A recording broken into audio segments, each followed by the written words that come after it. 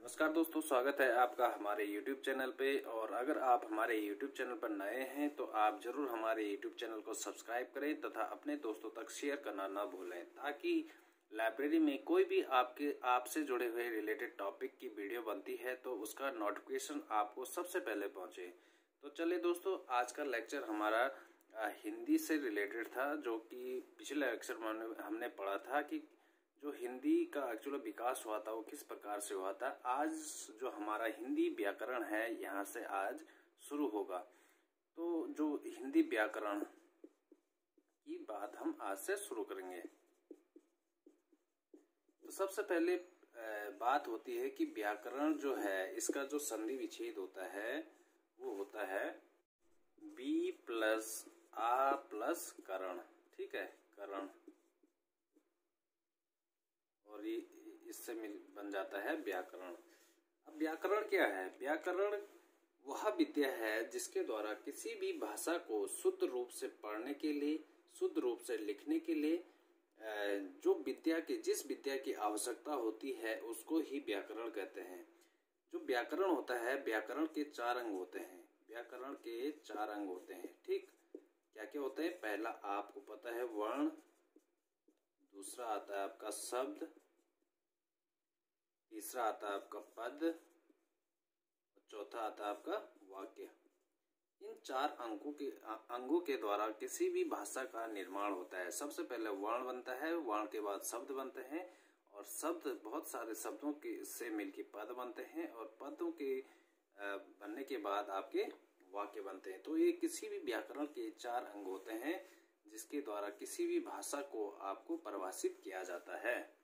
तो ये वर्ण होते हैं इन वर्णों के व्यवस्थित क्रम को आप वर्णमाला कहते हैं। वर्णमाला। वर्णमाला क्या होती है? कि जो आपके वर्ण होते हैं, इनकी व्यवस्थित, एक व्यवस्थित क्रम को ही आप वर्णमाला कहते हैं। जैसे कि हिंदी के वर्णमाला में आपके बावन वर्ण होते हैं। अभी वर्णों के बारे में हम आगे डिटेल से बात करेंगे। अब जो किसी भी भाषा का किस प्रकार से, जब निर्माण किस प्रकार से होता है, इसके बारे में हम बात कर लेते हैं।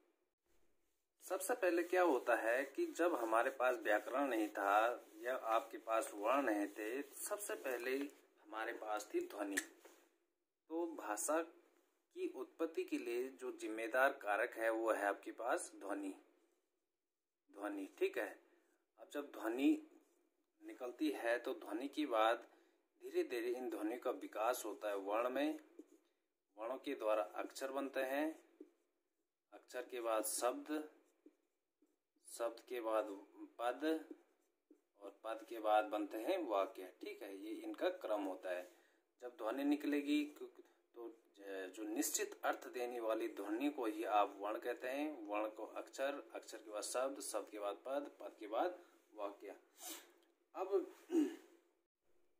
अब एक प्रश्न होता है कि वर्ण और अक्षर में क्या अंतर होता है? तो अक्षर वे ध्वनिया होती है। अक्षर वे ध्वनिया होती हैं, जिन्हें बोलने में उतार चढ़ाव नहीं होता है। ठीक है, अक्षर वे ध्वनिया होती हैं, जिनमें बोलने में उतार चढ़ाव नहीं होता है। जैसे जैसे कि आपकी जब सभी जो स्वर हैं, ये आपके अक्षर कहलाते हैं। जबकि जो वर्ण होते हैं, इनके उच्चारण में, इनके बोलने में आपके उतार चढ़ाव देखने को मिलता है। जैसे आपके जो सभी प्रकार के जो स्वर हैं और स्वर सहित व्यंजन आपके अक्षर कहलाते हैं, जबकि जो स्वर रहित स्वर रहित व्यंजन और स्वर, ठीक है, आपके वर्ण कहलाते हैं। तो इससे आप को एक बात स्पष्ट होगी होगी कि आपके जो वर्ण हैं, सभी वर्ण आपके अक्षर नहीं होते हैं, ठीक? अब आज हम बात कर लेते हैं वर्ण विचार के बारे में, ठीक है? जो आपकी वर्णमाला है, उस वर्णमाला में वर्ण विचार के बारे में हम बात कर लेते हैं। तो आज वर्ण विचार वर्ण विचार में जो हमारी वर्णमाला है, वर्णमाला में आपके स्वर हैं और व्यंजन हैं। और एक और हो जाता है इसमें अयोग वाहक अयोग वाह। योग न होने पे भी जो साथ हो, उसको अयोग वाह कहते हैं। स्वर। अब जो हमारी मानक हिंदी है स्टैंडर्ड हिंदी है, उसमें ग्यारह स्वर हैं, तैतीस व्यंजन है और दो अयोगवाहक हो गए। तो कुल कितने हो गए? तीन तैतीस, चौवालीस और दो छियालीस। ठीक? तो इनकी संख्या होगी छियालीस। तो जब आपकी मानक वर्णमाला, मानक वर्ण की बात करेंगे, मानक वर्णों की बात करेंगे तो आपकी हो जाएगी छियालीस। और कुल वर्णों की बात करेंगे, कुल वर्णों की बात करेंगे, कुल वर्णों की बात करेंगे तो इनकी संख्या हो जाती है आपकी बावन। कैसे होगी? छियालीस प्लस चार आपके संयुक्ताक्षर हो गए, प्लस दो आपके उत्क्षिप्त व्यंजन हो गए, ठीक? तो इसकी संख्या होगी आपकी बावन। अगर आपके लिए क्वेश्चन आता है, मानक वर्णों की संख्या तो छियालीस होगी और कुल वर्णों की संख्या आ, जो हमारी वर्णमाला है, उसमें है आपकी बयालीस। ठीक? अब हम बात कर लेते हैं आज स्वरों के बारे में। स्वर कौन कौन से होते हैं? आपको पता है, ग्यारह स्वर कौन कौन से हैं? अ, आ ई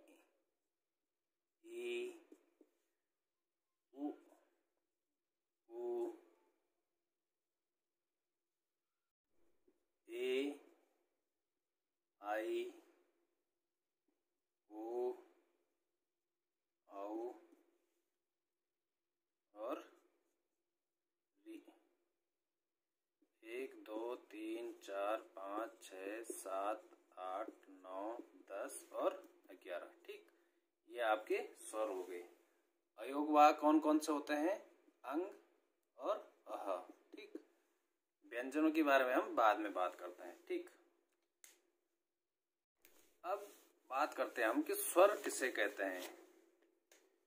स्वर वे ध्वनिया होती हैं। स्वर वे ध्वनिया होती हैं जिनके उच्चारण में किसी अन्य वर्ण की सहायता की आवश्यकता नहीं होती है।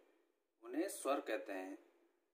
अर्थात हम कह सकते हैं कि जो बिना किसी बाधा के उच्चारित होते हैं, उन ध्वनियों को आप स्वर्ग कहते हैं। उच्चारण में कंठ, तालु का उपयोग होता है। केवल ठीक, केवल कंठ और तालु का उपयोग उपयोग होगा। जीव और ऊँट का इसमें उपयोग नहीं होता है, क्योंकि जीव और ऊँट का अगर उपयोग करेंगे आप तो इससे बाधा उत्पन्न होती है। तो स्वरों के उच्चारण में केवल कंठ और तालु का ही उपयोग होता है, ये आपको याद रखनी है। अब स्वरों के जो भेद हैं, उसके बारे में हम बात कर देंगे कि स्वरों को विभिन्न प्रकार से भेद किया गया है। सबसे पहले हम बात करेंगे उत्पत्ति के आधार पर। उत्पत्ति के आधार पर उत्पत्ति के आधार पे स्वरों का भेद। स्वरों के भेद, ठीक है? तो उत्पत्ति के आधार पे बात करेंगे तो सबसे पहला आता है इसमें मूल स्वर। दूसरा आता है इसमें सांदेय स्वर। सांदेय स्वर, ठीक? तीसरा आता है इसमें दीर्घ स्वर।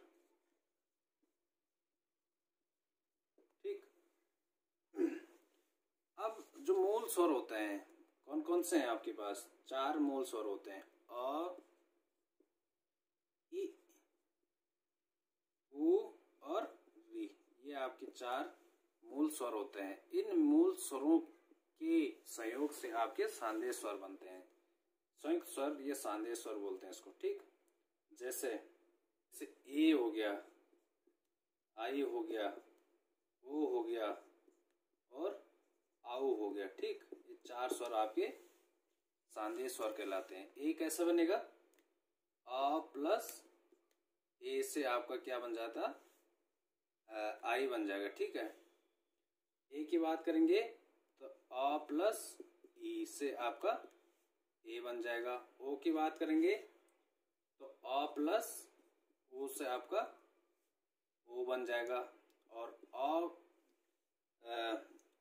अ प्लस ओ से, अ प्लस ओ से आपका आओ बन जाएगा। तो ठीक, ये आपके सांदे स्वर कहलाते हैं और इनकी संख्या भी आपकी चार होती है। उसके बाद आते हैं दीर्घ स्वर। दीर्घ स्वर कौन से होते हैं? जो आपके जो लघु स्वर होते हैं, उनके मूल स्वरों के योग से बनने वाले स्वर आपके दीर्घ स्वर कहलाते हैं। जैसे आ हो गया, ई हो गया और ओ हो गया। इनकी कितनी संख्या है? आपकी तीन संख्या है। तो इनको आप दीर्घ स्वर कहते हैं। उत्पत्ति के आधार पर स्वरों का विभाजन इस प्रकार से किया जाता है। उसके बाद हम उच्चारण के आधार पर करेंगे कि उच्चारण के आधार पे स्वर स्वर कितने प्रकार के होते हैं। दूसरा, उच्चारण के आधार पे। उच्चारण के आधार पे बात करेंगे तो पहला आता है ह्रस्व ह्रस्व स्वर। दूसरा आता है आपके पास, दीर्घ स्वर।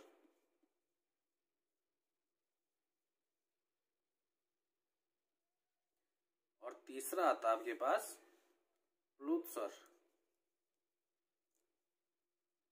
कभी कभी आपके जो एग्ज़ाम है, होते हैं, उसमें डायरेक्ट बताया पूछ लिया जाता है कि उच्चारण के आधार पे स्वरों का कितने भी, कितने प्रकार से आपका भेद किया जाता है ठीक? तो हरस्व स्वर हो गया दीर्घ स्वर और प्लोत स्वर ठीक? हरस्व स्वर कौन से होते हैं? जो आपके जिनको बोलने में कम आ, मात्रा है ये कम समय की आवश्यकता होती है उनको हरस्व स्वर कहते हैं। जैसे अ हो गया ई हो गया उ हो गया और री हो गया। इनकी जो संख्या है ये चार होती है। दीर्घ स्वर की बात करेंगे कि उच्चारण में हरस्व स्वर से ज़्यादा समय जिन स्वरों को बोलने में लगता है उनको दीर्घ स्वर बोलते हैं। जैसे, आ, ई ए, आई, ओ और आओ ठीक? तो इनकी संख्या कितनी होगी आपकी? एक, दो, तीन, चार, पाँच, छ, सात, ठीक? प्लूत स्वर की बात करेंगे तो प्लूत स्वर वे स्वर होते हैं जिनके उच्चारण में हर स्वर से दो गुना का समय लगता है या दो मात्राओं का समय लगता है, उन उन स्वरों को आपका प्लूत स्वर कहते हैं। ठीक। तो जो ये प्लूत स्वर होते हैं, इनको आपको दर्शाने के लिए एक सैंबल बनाया जाता है, इस प्रकार का इसके द्वारा दर्शाया जाता है इनको, ठीक। सभी स्वरों का प्लूत स्वर के प्रकार से लिख सकते हैं, ठीक। सभी स्वर, ग्यारह के ग्यारह स्वरों को आप प्लूत स्वर जैसे लिख सकते हैं। जैसे आपके राम हो गया, जैसे राम राम, है ना? ओडम। ठीक? तो इस प्रकार से जब आप समय की आवश्यकता होती है तो उसको दर्शाने के लिए आपके प्लोत स्वरों को प्रयोग किया जाता है। इनकी संख्या ग्यारह होती है, लेकिन जो हिंदी भाषा में प्रयोग किए जाते हैं, आठ प्रयोग किए जाते हैं। और जिसमें कि जो सात होते हैं, दीर्घ हो गए, सात दीर्घ और प्लस एक आपका हरस्व हरस्व, ठीक? तो ये आपके आठ किए जाते हैं। हरस्व में केवल अ का प्रयोग करते हैं, ठीक? ई उ और री का प्रयोग आपके प्लूत स्वरों में नहीं होता है, क्योंकि ये ये हरस्व में ही बोले जाते हैं, ठीक? ये ई उ और री। लेकिन प्राचीन काल में इसमें इनका भी प्रयोग किया जाता था। आपकी ये जो हरस्व और स्वर हैं, लेकिन जो वर्तमान में किया जाता है, केवल अ का प्रयोग किया जाता है तो प्लूत स्वरों की अगर बात करेंगे तो इनकी संख्या आठ माने जाएगी, ठीक? आठ, अभी आठ इसमें प्रयोग किए जाते हैं। आठ कौन कौन से हैं? सात आपके जो दीर्घ हो गए ये वाले, ये दीर्घ स्वर, और एक आपका हरस्व आपका अ हो गया, ठीक? आठ हो गए। तीसरे प्रकार से हम इनका भेद करते हैं, ओस्ट, ओष्टाकृति के आधार पे, जो हमारे, जब हम इनका उच्चारण करते हैं तो हमारे ओट किस प्रकार से परिवर्तित होते हैं, उसके आधार पे इन स्वरों का आप क्या करेंगे, भेद करेंगे। ओष्टाकृति के आधार पे, के आधार पे स्वरों का भेद, स्वरों का भेद। ये एक्चुअल में ये सीधा सीधा क्वेश्चन आते हैं आपके एग्ज़ाम में, ठीक है? ओष्टाकृति के आधार पे स्वरों के भेद ठीक? तो इसमें दो प्रकार के होते हैं। वर्तुलित वर्तुलित स्वर, और दूसरा होता है आपका अवर्तुलित स्वर। अवर्तुलित स्वर, ठीक? वर्तुलित का मतलब होते हैं जब हमारा जो ऊँट की आकृति होती है वृत्तानुमा हो जाती है वृत्ताकार वृत्ताकार अगर आप जब बोलते हैं तो जिस स्वर के उच्चारण में आपकी ऊँटों की आकृति वृत्ताकार हो जाती है, उन स्वरों को वृत्ता वर्तुलित स्वर कहते हैं। जैसे अ जैसे क्या हो गया? अ नहीं, जैसे ओ ओ है ना, आओ। तो ये इन शब्द, इन स्वरों को बोलने में आप देखोगे कि जो आपके जो मुँह की आकृति है, वो वृत्ताकार हो जा रही है, इसलिए इन स्वरों को आपका वृत्ताकार वर्तुलित स्वर कहते हैं। अवर्तुलित वे स्वर जिनको उच्चारण में हमारे ओंठों की आकृति वृत्ताकार नहीं हो रही है, उनको अवर्तुलित स्वर कहते हैं। अवृत्ताकार आकृति हो जाएगी हमारे मुँह की, ठीक? जैसे क्या हो गया? आ आ आप जब बोलोगे, इनको बोलने में उच्चारण करोगे जब आप तो आप खुद से देख के भी अनुमान लगा सकते हो इनका कि किस प्रकार से हो रहा है। जैसे आ हो गया, ई ई, है ना? ई री ए आई है ना तो इनके उच्चारण में आप देखोगे कि आपकी जो मुँह की आकृति है, वो वृत्ताकार नहीं हो रही है, इसलिए इनको अवृत्ताकार स्वर कहते हैं या अवर्तलित स्वर कहते हैं, ठीक? इसमें अ नहीं आता, ठीक? अ को नहीं मानती। ये एक उदासीन स्वर होता है और इसके उच्चारण में आप जब देखोगे तो जो आपके ऊँट है, इनकी स्थिति में कोई अंतर नहीं होता, ठीक? जैसे आप उच्चारण करोगे अ अ अ, है ना? तो जहाँ पे आपके ओंठ है, वहीं पे रहते हैं। इसमें, इसके उच्चारण में किसी प्रकार की भी आपकी जो ओंठ है, उनकी स्थिति में कोई अंतर नहीं होता है। इसलिए इसको क्या बोलते हैं? उदासीन स्वर कहते हैं। उदासीन स्वर, ठीक? ये न तो वर्तुलित है और न अवर्तुलित। उसके बाद जो हमारा चौथा प्रकार का जो भेद करने का तरीका होगा, वो आपका जीवा के भाग के आधार पर।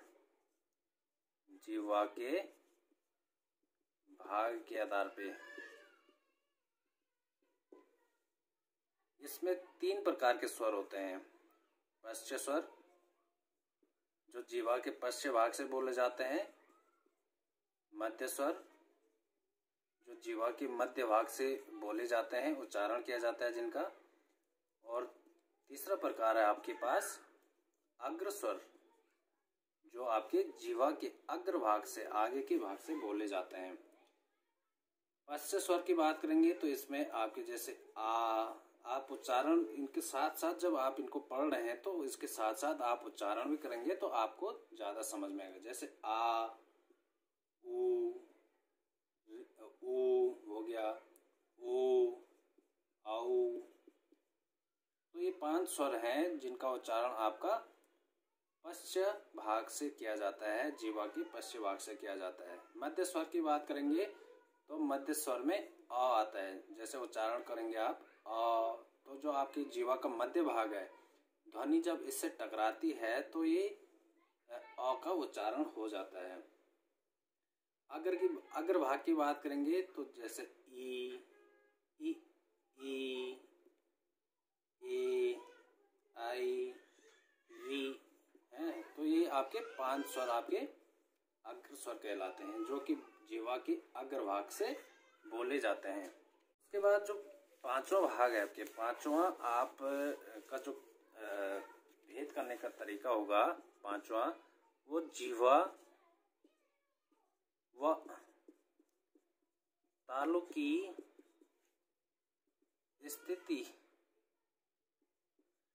के आधार पर के आधार पर। या इसको कह सकते हैं कि मुँह के खुलने के आधार पे, ठीक? मुँह कितना खुल रहा आपके? वो मुँह किस जो पहला किया वर्तुल्य और अवर्तुल्य किया था, वो मुँह किस आकृति के बन रहा है और ये इस प्रकार से कि मुँह कितना खुल रहा आपके पास? ये इसको कह सकते हैं मुख के खुलने के आधार पर खुलने के आधार पे। क्योंकि जब आप उच्चारण करोगे, कि, कुछ शब्दों को आपको मुँह कम खोलना पड़ेगा, कुछ को ज़्यादा खोलना पड़ेगा। तो इसमें आपके चार प्रकार के होते हैं। संवृत संवृत स्वर, दूसरा आ जाएगा इसमें अर्ध संवृत स्वर, अर्ध संवृत स्वर। तीसरा आ जाता है इसमें विवृत स्वर। चौथा आ जाता है इसमें, अर्ध विवृत स्वर, ठीक? विवृत स्वर। समित स्वर का मतलब होता है बंद जब आपकी, जब आप स्वर का उच्चारण कर रहे हैं तो आपका मुँह बंद रहता है, बिल्कुल बंद रहता है, जैसे ई, है ना? उ, ई ई, उ उ उ, री तो ये आपके मुँह को आप, जब आपको खोलना पड़ता है, ठीक है? बंद बंद मुँह। तो ये बंद मुँह से ही निकल जाते हैं आपके पाँचों स्वर। अर्थ की बात करेंगे तो ए ए ओ है ना छोटा ए और छोटा ओ ठीक? ओ। विवृत की बात करेंगे तो विवृत का मतलब होता है खुला। आपका मुँह पूरा खुल जाता है इसमें ठीक? जैसे आ आ को जब आप उच्चारण करेंगे तो आपका पूरा मुँह खुल जाता है ठीक है? इसको और क्या बोलते हैं कि मुँह से बोल आ, बोलने में सबसे ज़्यादा, मुँह से बोलने में सबसे ज़्यादा जिस वर्ण को उच्चारण करने में मुँह खुलता है, वो आपका अ है। ये आपका कभी कभी पूछ भी लेता है कि सबसे ज़्यादा मुँह किस वर्ण के उच्चारण में स्वर के उच्चारण में होता है तो वो होता है आ। अर्ध विवर्त की बात करेंगे, जिसमें आधा ही मुँह खुलता है तो इसमें आपका आई हो गया और आओ हो गया। आई और आओ ये आपके दो आपके अर्ध विवर्त कहलाते हैं। इसके बाद अगला जो हमारा भेद करने का जो आ, आधार होगा वो आपके छठवा जो आधार होगा वो जाति के आधार पे जाति के आधार पे। अब देखो यहाँ भी जाति होती है आपकी वर्णों की स्वरों की भी जाति होती है। पहले होता है आपका सजातीय स्वर सजातीय स्वर और दूसरा आता दूसरा होता आपका विजातीय स्वर। विजातीय स्वर। सजातीय स्वर वे स्वर होते हैं जो कि उच्चारण स्थान जिनका समान होता है, ठीक है? सजातीय स्वर जिनका समान उच्चारण होता है। जैसे अ हो गया, आ हो गया, ठीक है?